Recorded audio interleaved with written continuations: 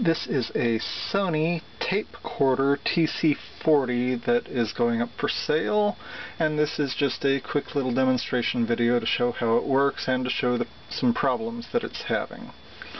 First of all, the uh, rechargeable battery pack is dead, but it takes just plain uh, AA rechargeables.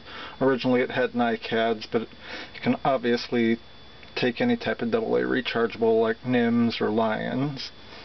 The biggest problem is the capstan on the take-up reel side is uh, seizes up, for lack of a better word, and I'll just demonstrate here.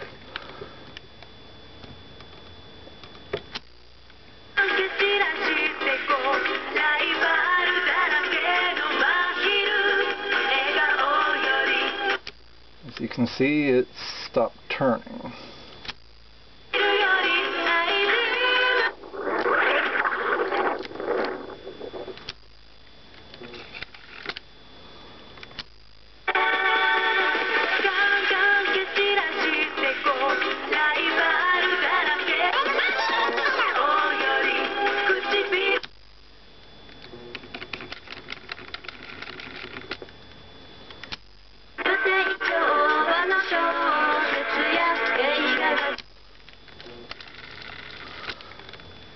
So it looks to me like it probably just needs something like sewing machine oil or gun oil.